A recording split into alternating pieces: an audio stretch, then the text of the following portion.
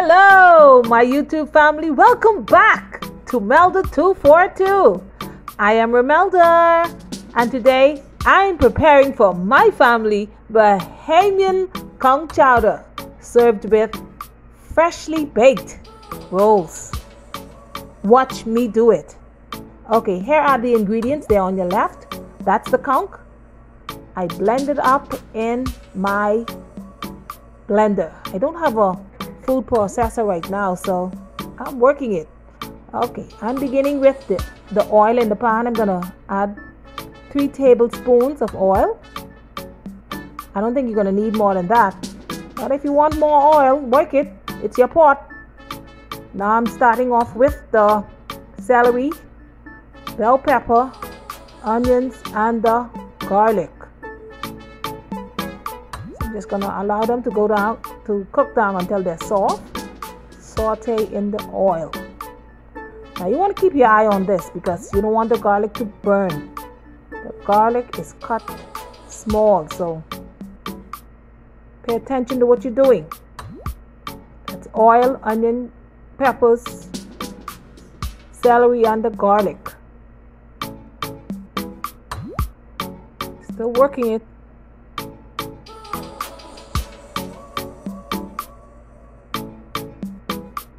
Now I'm just going to add a little bit of seasoning, total seasoning, that's what I'm using today, to the veggies. That's about a tablespoonful. Oh, the heat is causing it not being able to come out, so I would just take the cap off and use it like that. Some ground allspice, just a little of this, about a quarter of a teaspoon. You don't need that much of that ginger powder. I don't have any more of the fresh ginger, so I'm using what I have. But if you have the fresh ginger, oh yes, work it. Some paprika. Okay. And of course, turmeric, the magic powder. This is good for you, inside of your body as well as the outside. Add a little bit to your pot every now and then. Mommy didn't all of this, but I am jazzing up my pot this morning. My pot today. I said morning. Oh, this is dinner. Tomato paste. Now, of course, you can use ripe tomatoes as well, or even the tomatoes in the bottle. You know the bottle tomatoes? Feel free to use that, and this is where you can add it in. But I'm just adding tomato paste for now. I don't want any of the others in. Ripe tomatoes, feel free. Tomatoes in the bottle, work it. It's your pot. And of course, some thyme. Now I'm going to add the stems in as well and I'll just fish them out before serving this chowder. This is Bahamian conch chowder. And I prepared freshly baked bread. Okay, now I'm just adding the Irish potatoes, the white potatoes, and some carrots. Everything is cut up small in little cubes. Even the conch, everything is small. This is conch chowder. So I'm just combining everything together just to coat it with the tomato paste and the, the oil and all of that seasoning and the spices and all of that, everything. Now it's time for some parsley. Mommy didn't add parsley. She didn't have parsley. She just used the thyme. But Melda has parsley, so I'm adding the parsley as well as the turmeric and the allspice. I'm working it today. Now that's the star right there. That's the conch. I don't have a food processor, so I just use my blender. I just slice it up thinly. The, the skin is still on, by the way. That's what the brown spots are. Added water to the blender and then added the pieces of conch. So allow it to just chop up. You shouldn't have any big chunks in this. This is conch chowder. Everything should be small. Every spoonful should be little pieces of conch. One or two pieces of potato or carrots. That's it. Oh my word, look at that. That's how it should be. Now, here in the Bahamas, this is served as an appetizer right before the main course. So, and my family, this is something great to begin your family's day on Christmas morning or for any cold weather. Trust me, this will do the trick. But we're having it for dinner today. This is an appetizer here, but Melda 242 is serving it for dinner with her family. Oh, yes. You can also serve this with potato bread or cassava bread, Johnny cake. We're doing freshly baked, freshly baked rolls.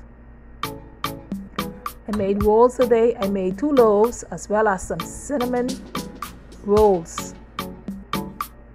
Stay tuned. Just added the seasoning. Seasoning to taste now. Don't go overboard with the salt. While that is working out, of course, the stove is on medium. I'm just turning it down to low because I don't want to rush this. Even though the conch and the potatoes and everything are small, they still need to cook properly. About 8 to 10 minutes, everything should be ready. Okay, this is the first check. Okay, look at that. See? No unnecessary liquid is in this pot. I almost forgot the vegetable bouillon. This is really gonna make it taste great. Trust me. Use the vegetable one. Oh my word. In here is gonna be lit. Hubby can't wait. He's already been out here twice asking if food ready yet. And I keep telling him five more minutes. five more minutes. Oh my, look at that. No unnecessary water. I used two I used two cups of water to grind up the conch, cut up the conch in the blender, and then I use another cup to get the rest of the conch out of the container at the bottom. So that's three cups of water. No more than that and that's gonna cook the conch and the vegetables. Oh my word, look at that. This is what conch chowder should look like. Yes, the flavor is here. Trust me, it is here. Look at that, look, look, see? All you can see is conch. Ah, oh, yeah, that's it. Uh huh. That's conky boy. This is conch chowder, Bahamian conch chowder. This is all. This is always served along with some other soups as an appetizer. We are having it for dinner tonight. We are having this for dinner tonight, and is if any is left over, you can have it for breakfast. How does that sound? He's excited. He has fresh bread to go with it to pick it up. Check it out. That's a close up. Oh my word. This is it. And here is going to be lit tonight. Lit. Woo. Mmm. My, my, my, my, my. That's the rules. That's what I was telling you about right there. Freshly baked rolls. That's 40. Same batch. I did some cinnamon buns. I'm gonna do the topping for it in a bit and I got two loaves out of it. Normally I make I would get three loaves, but I took one of the loaves and I made the cinnamon rolls. That's a serving right there. Of course he's gonna need some more bread, but I'm giving him four to start off. Look at that. Oh my word, nice and healthy. Whew. That's it. That's Bahamian. Bahamian conch chowder. That's my own right there. Ooh, ooh. Thank you very much for watching this video all the way to the end. If you have enjoyed it, please give me a thumbs up. Share it out. Please leave a comment at the end. Watch the ads now. Help your girl out. Watch the ads for God's sake. God bless you. And I will, I will see you in the next one.